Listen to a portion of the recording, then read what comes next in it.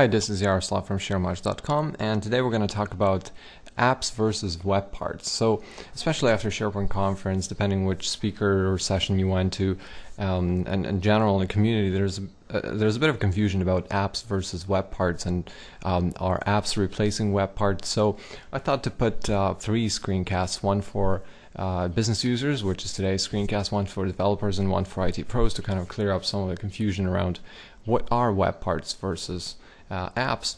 So apps is a new concept in uh, SharePoint 2013, and if you're listening to this screencast, you probably uh, are familiar with the web part concept, which a lot of folks out there call, oh, it's an old concept, it's no longer going to be used.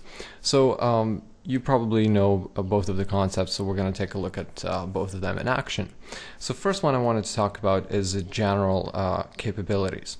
So to add a particular, and this is uh, a publishing site, site, but it can be a team site as well. To add the app or web part, you would click this, you know, you would add the page on the team site or publishing site, and you would click um, add a web part. So by default, the uh, web part uh, insertion uh, interface shows up, but if you click back here on insert, you also see this app part. So that's something that's that belongs to apps. So web part option is still there, and it, as you can see, there's a variety of lists and libraries uh, parts that you can add here, as well as custom and out-of-the-box web parts. Uh, there's some new, there's some old uh, web parts. So if for, for those who say that you know web parts are no longer used, that's not true, right? So there's tons of out of the box new web parts that have been just created by Microsoft in SharePoint 2013 uh, that are available here. So if that wasn't if if, uh, if, web parts were deprecated, that wouldn't be the case. Everything would be an app part. Now a little bit uh, a bit of a confusing part is uh, lists and libraries, um, as they were known before, are, have been sort of renamed to apps. And uh, but the confusing part here is that you can add the view to lists and libraries from the app uh, from the web part interface and you can add them from the app part interface. And that's a confusing part because folks are like, okay, so what am I inserting? Am I inserting the the app or am I inserting the uh, the web part? And in fact, you're just inserting a view to the list or document library, right? So lists and document libraries are created the same way. Um, apart from the fact that now to add a list or library, you click add an app. And that'll take you to the same interface uh, as you use to add an actual app or or the actual list or library right? So that's that's another confusing sort of a part. So that's so that's general. Uh, in terms of capabilities so from a capability standpoint uh, apps are much limited than web parts right? So web parts uh, run with with a lot of trust. And when you install, when you add a web part, right, you have no choice really to say uh, whether you know you, you're just adding it and you have no idea what's the what's the access that the web part uh, may be accessing. So, for instance, or maybe requesting. So, for instance, if I'm adding this content editor web part, um, you know, it says that it's a content editor web part. There's some description, but you don't really know what it does.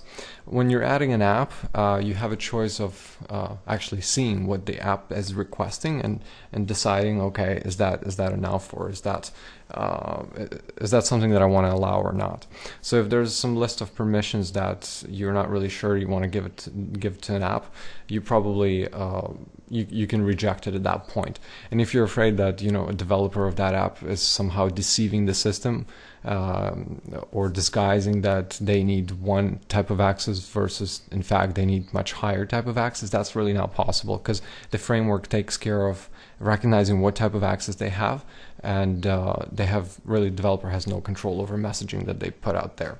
So that's about the capabilities. Some of the restrictions uh, now that's important to know that once so each app it's each instance of an app runs in its own sort of a uh, site collection, so its own little uh, interface um, or its own placeholder on, on, on your farm. From from the from the user interface standpoint, if I add a web part onto my page, like I added this content editor web part, if I insert some sort of a script, That script is going to execute on the page. And if that script, for instance, on this content editor web part says, you know, hide a particular part of the page or change the uh, the look of the page um, or display some sort of a message right here, then that'll execute on the entire page. So from the web part, I can modify the look of other components. I can I can somehow change the look of this uh, quick launch or header, etc., etc. Um, if it's an app, an app runs really or, or, an app part runs as an iframe. So really, I have um, no control of accessing uh, the the rest of the page uh, from an app.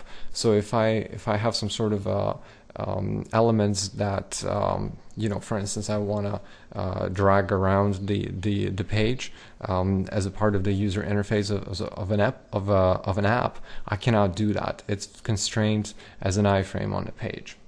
Another thing uh, that I wanted to point out is uh, uh, the installation. App infrastructure isn't really available uh, to all of the uh, um, to all of the versions of, of SharePoint. So, for instance, Foundation, uh, SharePoint 2013 Foundation, as far as it's so far been announced, right? It's the announcement may may change or the licensing model may change, but the way it's been announced so far is the foundation, the apps uh, infrastructure isn't supported.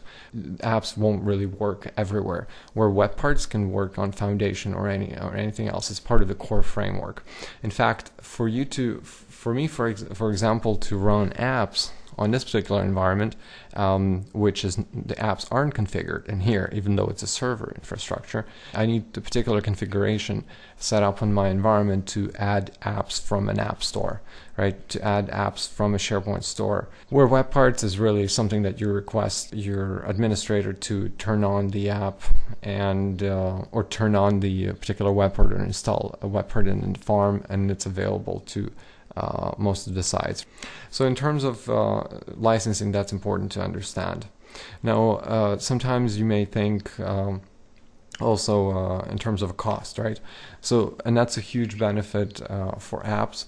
Um, what's what's likely to happen is because the entry level for an app store for developers to create an app and put in an app store is rel- relatively small, right? So when developer, you know, a developer can create an app, put it in an app store, if you navigate to an app store, you have access to all of those apps, and you can, uh, you know, you can see that a lot of them are free, and the ones that are paid, you can, um, you can, you, you have access to those at relatively small cost. As you can see, the, the, the apps here are something like twenty nine ninety nine, right? That's they aren't really, you know, a couple of hundred dollars or a couple of thousand dollars, which would be the case um, if you if you were to uh, ask a developer to create a web part for you what you can expect is in the future you're going to have uh, more apps um, uh, here available, and you can add them to your uh, to your site relatively and customize your site at a relatively uh, less expensive cost versus uh, adding web parts.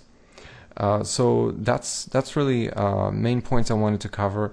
Uh, there's uh, there's a couple of more screencasts coming up on what's the difference uh, between web parts and apps for developers on IT Pros. If you belong to one of those audience, I encourage you to check out those as well and find out what's the difference between development and, and capabilities of apps versus web parts.